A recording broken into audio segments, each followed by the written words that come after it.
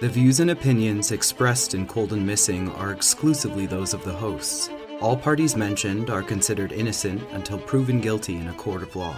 Cold and Missing also contains adult themes and languages. Listener discretion is advised. I'm your host, Ali McLaughlin Sulkowski. And I'm your co host, Eli Sulkowski. And this is Cold and Missing, where we cover cold cases and missing person cases. Hello, everyone, and welcome back to Cold and Missing. I'm your host, Allie. It's just me coming to you this week. My darling husband, Eli, as you may remember if you've listened to some of our past episodes, his mother passed away recently, and he just needed to take a little time this week for his mental health. So, of course, he is supported in doing that. And I love him very much and miss him very much. He's still here in the house, but I just miss him when he's not with me. However, I still wanted to bring you a new episode. This week we are covering a missing person. So let's just get into it. This week we are covering the story of Katelin Akens, and this takes place in December of 2015 in Spotsylvania, Virginia. But first, a little bit about Katelin. Katelin is 19 years old in 2015. She would be 27 years old today. Katelin at this time is living in Lake Havasu City, Arizona, with her fiance Amber. Amber and Katelin had been friends for years, having grown up on the same street together. When Amber was 10, her family moved to Arizona, but her and Katelin remained close throughout the years, their friendship growing into a relationship. Katelin's family was supportive when she came out. Her mother only wanted her daughter to be happy more than anything. Katelin graduated high school at the age of 16 she was very smart and very academic. Just 10 days after her 18th birthday, she moved to Arizona to be with Amber. In the weeks before her disappearance, Katelin was in the process of enrolling in cosmetology school in Arizona, but she talked with her family in Virginia several times a day, either through text or phone calls, often both. Her sister was pregnant with her first nephew, and Katelin was going to become an aunt for the first time and was so excited. So now a timeline of events. On Tuesday, December 1st, 2015, Katelin flies back to her hometown to celebrate the birth of her nephew. She grew up in Caroline County, Virginia. It was going to be a quick trip, just four days since she was slated to start cosmetology school on Monday. She just had to finish up her enrollment, which meant bringing her high school diploma back to Arizona with her. On Thursday, December 3rd, Katelin meets up with old friends and parties at their place. They stay up late playing drinking games, and Katelin ends up spending the night there. She comes home later the next day on Friday so she can pack up her stuff and get ready for her flight the next day. Saturday, December 5th, 2015. Before she leaves for the airport, she makes sure to grab her high school diploma. Her mother, Lisa, had to work that day, so another family member had promised to take her to the airport. However, this other family member ended up getting called into work at the last minute. In a bind, Katelin reached out to her ex stepdad, James Branton, to see if he would be able to give her a ride. James was really the only father figure that Katelin had ever had in her life since her biological dad was not in the picture. James agrees to take her to the airport, but since he had to work later that day, around 3 p.m., he'll have to drop Katelin off four hours before her flight so he can make the trip back to get to work in Fredericksburg, Virginia. Katelin was flying out of the Ronald Reagan Airport in Washington, D.C. at 5:40 p.m. Katelin got a ride from her mother to James's house, and then Lisa headed to work. According to her mother, everything seemed normal when she dropped Katelin off. Lisa told Katelin to call her when she got to the airport and when she boarded the plane. Katelin said she would.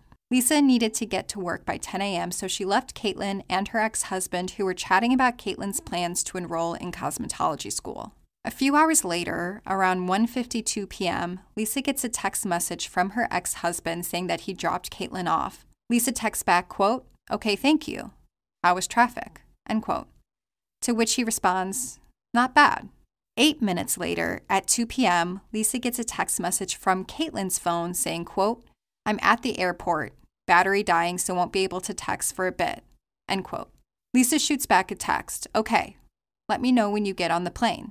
A few minutes after this, another series of text messages are sent to Lisa from Amber, Katelin's fiance. Amber says that Katelin isn't getting on the plane. When Lisa asks her what she means, she says that something happened and Katelin is waiting for a new flight. However, Lisa knows that there aren't any other flights that Katelin can get on that night. This was her only flight. Lisa starts to worry. She's still at work, so in between customers, she calls other family members to recruit them into helping find out what's happening with Katelin. Her sister begins to text her, but she doesn't respond, and the calls go straight to voicemail. As Lisa leaves work that night, she texts James to ask him where he dropped her off at. He said that he dropped her off at the Springfield Mall in Virginia. This was news to Lisa, and when she asked why, he said that Katelin wanted to be dropped off there. He said that instead of waiting at the airport terminal for four hours, she was going to walk around the mall and then take the metro train from the mall to the airport. James tells Lisa he had even given her $20 for the metro. According to Katelin's family, this doesn't sound like her. Katelin hadn't taken the metro since she was around six years old and didn't really know her way around it, and she had never been to that mall before. She would have either needed to take a bus and then walk to the train in order to get to the airport, or walk about 16 minutes with her luggage straight to the train from the mall. Katelin's mom and sister are convinced that she wouldn't have done this. At around 7:15, Lisa gets two text messages from Katelin's phone. The first one read, quote, staying with a friend, end quote. And the second one said, quote, I need some time alone, end quote. This was strange to Lisa since Katelin should have been in the air at this time and unable to send a text. Lisa was driving home from work when she got the text messages, so she pulled into a gas station and attempted to call Katelin, but the calls went straight to voicemail. Lisa texted her daughter saying, Call me, and then says, I'm very worried about you. Shortly after, Amber gets a Facebook message from Katelin that said, quote, I can't come back. I cheated on you, end quote. Amber and Lisa talk, and Amber has no idea what is happening. Her and Katelin had not gotten into any fights recently, and there's no reason she can think of on why she wouldn't want to come home. Lisa decides to call the airport, and she finds out that Katelin never even boarded her flight. This sends Lisa into a panic, and she calls police to report her daughter missing. But since Katelin is over the age of 18, police tell her that she hasn't been missing long enough yet for them to do anything. On Monday, December 7th, after agonizing over what's happening with Katelin and trying to get a hold of her with no response, Lisa goes to the Spotsylvania County Sheriff's Department to report Katelin missing since this was the last place that she had seen her when she dropped her off at James's house. When Lisa tells police everything, police believe that Katelin just needed a few days to herself and that she would turn up, that maybe she was getting cold feet and didn't want to return back to Arizona. Lisa still insists on filing a police report with them. While Lisa is in the middle of filling out the form, Katelin's luggage is found. A road crew found her suitcase in a drainage ditch off of River Road near where it intersects with Fall Hill Road in Spotsylvania County, 50 miles from the airport. Police pull Lisa into a room to tell her of the discovery. Her luggage was found unzipped. Her plane ticket, wallet with her ID and all of her bank cards, toothbrush, and phone charger were all in the suitcase, but everything else was missing her clothes, her cell phone, and her high school diploma. The suitcase had a broken wheel, and according to Lisa, it looked like it was just tossed out of a window. Police begin investigating Katelin's disappearance. They find the circumstances suspicious and interview her family at length. Katelin's case is assigned to Detective Rob Marshall, who speaks with James, her former stepfather, and his statement remains the same that around 1 p.m., he dropped her off at the mall near the J.C. Penney entrance. James told police he didn't think that it was odd at all that she wanted to take the metro into the airport. Police reach out to the mall, the metro, and the airport for surveillance footage on the day that Katelin went missing. Later review of the videos will show that Katelin was not caught on any of the security cameras at the mall, metro, or airport. On Thursday, December 10th, Katelin has been missing for five days. Police searched the area near where her suitcase was found. There is a river near this area, and investigators search the shoreline. They do aerial searches as well, but nothing additional is found in regards to Katelin. So none of her clothing was found, her cell phone wasn't found, her diploma wasn't found, and she was not found. Police continue to dig into Katelin's life. They find a Facebook message from the early hours of the day she disappeared, when it was known that Katelin still was in possession of her phone. It said that she didn't want to be here or there. which investigators took to mean she didn't want to be in Virginia or Arizona.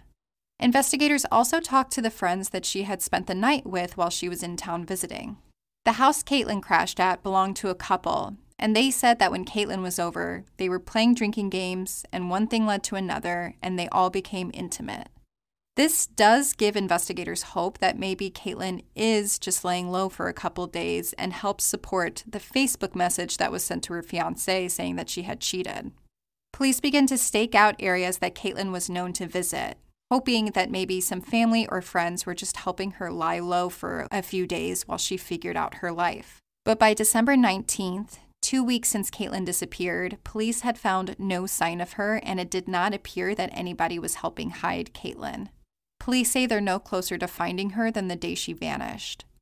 Katelin's family believe that there is no way she would stay out of touch with them for this long. She would have contacted them by now if she had just needed a few days to herself. It's unclear exactly when, but eventually Katelin's phone records arrived to police to review. Police find out through the phone records that when Katelin sent the text to her mother saying that she was at the airport, that that text message pinged to a tower near Fredericksburg, Virginia, about five miles from where her suitcase was found, but far away from the airport. On December 29, 2015, James is scheduled to come in that day and take a polygraph test. He has been very cooperative with police during their investigation, and police really view him as a concerned father. They scheduled the polygraph as a way to rule him out and move past him since he was the last person to see Katelin. James calls police to tell him that he spoke with his attorney, who advised him not to take the polygraph test since he was being looked at as a suspect. Police try to assure James that he's not a suspect, but just the last person to see Katelin alive, that they need to rule him out before they can start looking at other people. Still, James refuses to take the polygraph test and really stops being cooperative with police after this point. In January of 2016, Katelin has been missing for nearly a month at this point. Detective Rob Marshall decides to get a search warrant for James's house and the swamp area behind his house. During the search, investigators seize computers and cell phones and spend hours searching his house, property, and vehicles but they don't find any trace that anything bad happened to Katelin in his home or the vehicles. Police do, however, obtain James' cell phone records, and they notice that all of the calls he made that day and all of the text messages he sent on the day that Katelin disappeared pinged off of the tower near his home in Partlow, Virginia, not near the mall or airport or even near his job in Fredericksburg. His phone records will also show that James never tried to call Katelin once after she disappeared. Investigators will also come to find out that James called off work that Saturday that Katelin disappeared. He never went in. In June of 2016, it's been over six months since Katelin went missing. Katelin's family is desperate to find her, and they start a GoFundMe in order to hire a private investigator. They also have started a Facebook group to try to raise awareness for Katelin's case. The Spotsylvania Sheriff's Department says, quote, the case is still open and we have a detective who is actively working on it. We've looked everywhere we know to look, but at this time we have no new leads or information. End quote. In May of 2017, Katelin has been missing for about a year and a half now. The FBI has joined the search, but investigators are still at a standstill. The family is deep in their own investigation into what happened. Katelin's sister Pamela says, quote, We analyze everything all the time, different things that could have happened every day. End quote. Katelin's mom checks Facebook first thing in the morning to see if there's any new posts about Caitlin, or Googles her daughter's name to see if anything new pops up. Lisa used to talk to detectives every day, but it got depressing. Nothing ever changed in the investigation, and there was never any new information. Lisa has reached out to national TV shows and famous psychics to see if any of them would be able to help get Katelin's story out there. The show Disappeared does do an episode on Katelin, and that helps raise awareness about Katelin's case nationally. When Lisa thinks back to the day her daughter disappeared, she thinks of the text messages that Katelin sent, and Lisa does not believe that they were sent by Katelin. She told a local paper that Katelin never double texted unless she had misspelled something. And when she texted her mother that she needed time alone and was at a friend's house, it was sent as a double text. Police Captain Liz Scott told local media that investigators now believe that Katelin never left the area. Lisa holds out hope that her daughter will be found.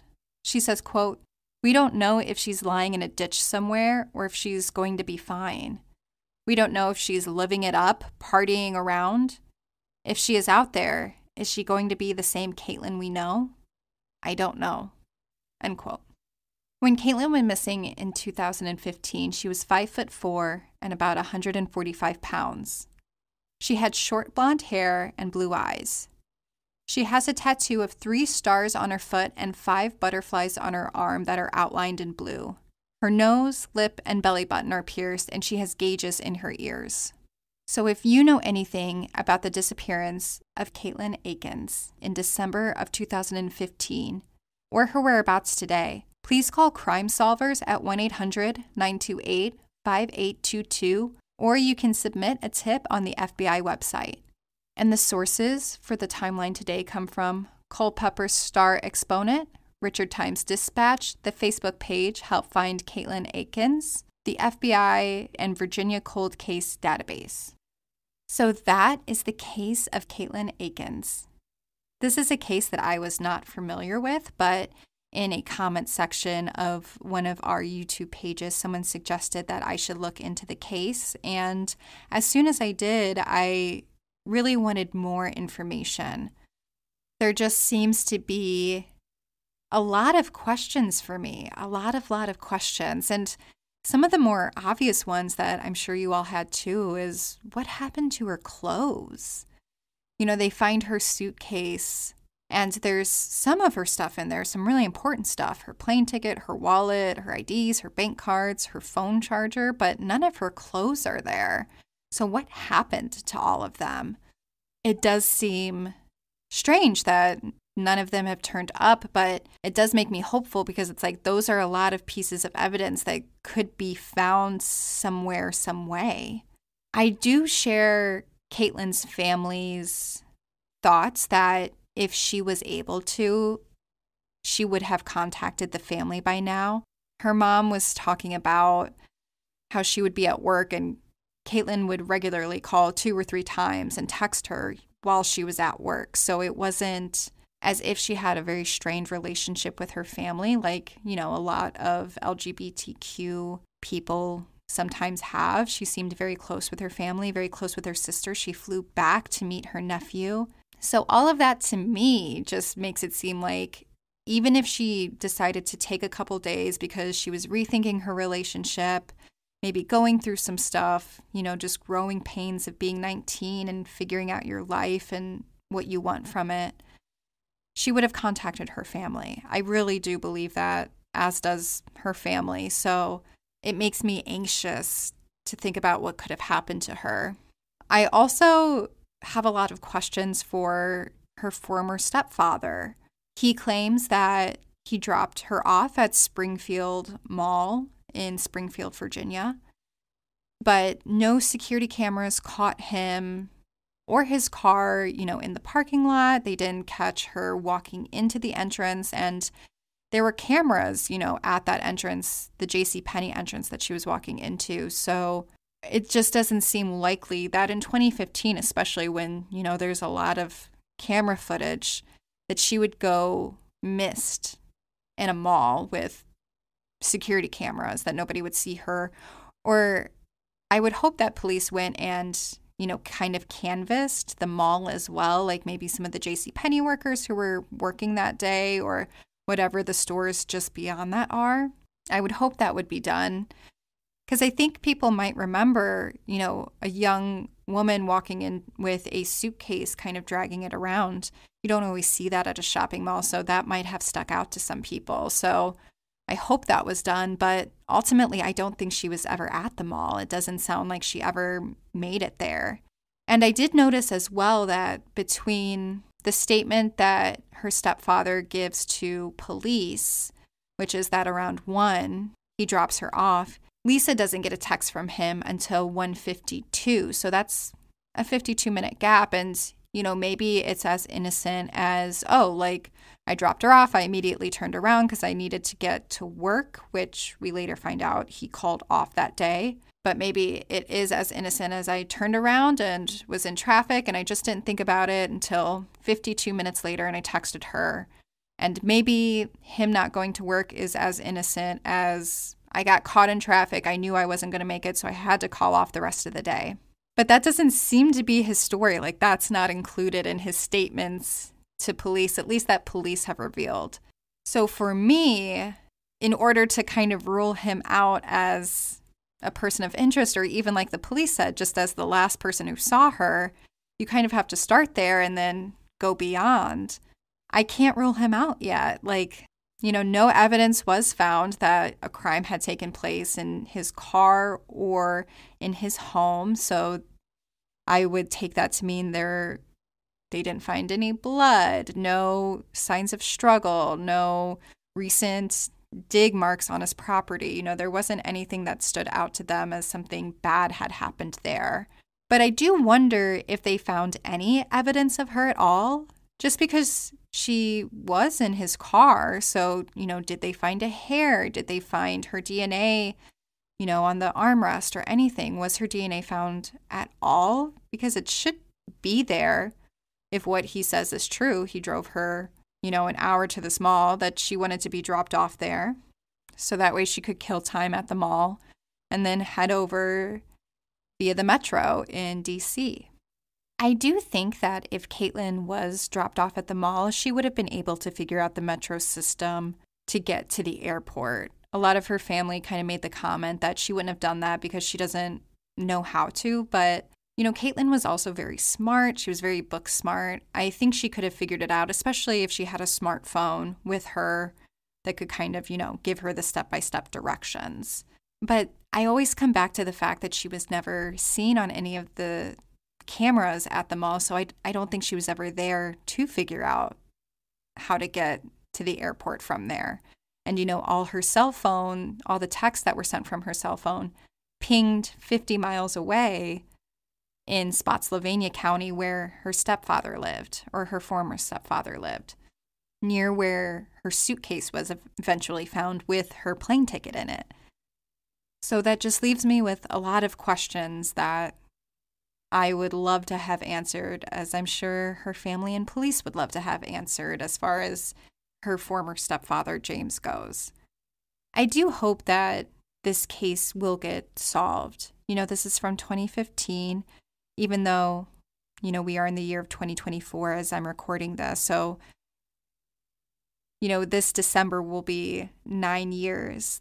That's a long time to not have somebody and for somebody to be missing. But I feel like since it did happen within the last 10 years, that there is a lot of information that police still have. There's a lot of technology that the police have that I think could provide more answers especially if they're able to take newer technology like maybe there are texts that need to be recovered or you know things that were kind of hidden on the phone that can be brought to light you know using new technology. I hope that that is done for katelin and that we're able to get some answers and know what happened to her and hopefully bring her home so that way her family can know where she is one way or the other. And she disappeared during the day so you know, if anybody saw anything from December 5th, 2015, again, you are encouraged to call Crime Solvers at 1 800 928 5822. You can submit a tip directly to the FBI if you go on their website, especially if you search her name. So please, if you know anything, if you saw anything in that area, please submit a tip. Let's get some answers for Katelin and get this thing solved, get this thing closed. We'll be posting pictures of Katelin on our Instagram. If you're not following us there, I definitely suggest you check us out. We put any updates with the podcast on there, as well as post in our stories about cases happening here and now. We'll, of course, be posting pictures of Katelin on our Instagram at Cold and Missing. You can find us there. If you have a second before you move on to the next part of your day, if you could please leave us review, especially if you're an Apple podcast, leaving us a written review helps others find us, and helps bring these cases to more people and get people interested in these cold cases, in these unresolved missing person cases. So if you've already done that, thank you, thank you, thank you, thank you. If you haven't, I strongly encourage you to do it. It's such a free way to support this podcast. You can always visit us on our website, www.coldandmissing.com. You can review us there as well if you're not a part of Apple Podcasts. You can also donate to us if you wish to support us that way. And also, if you or someone you love is hard of hearing, we have transcripts on the website so that way you can follow along with us there. Thank you so much for listening to Cold and Missing. I'm your host, Allie McLaughlin Sulkowski. Have a great week and stay safe, y'all. Música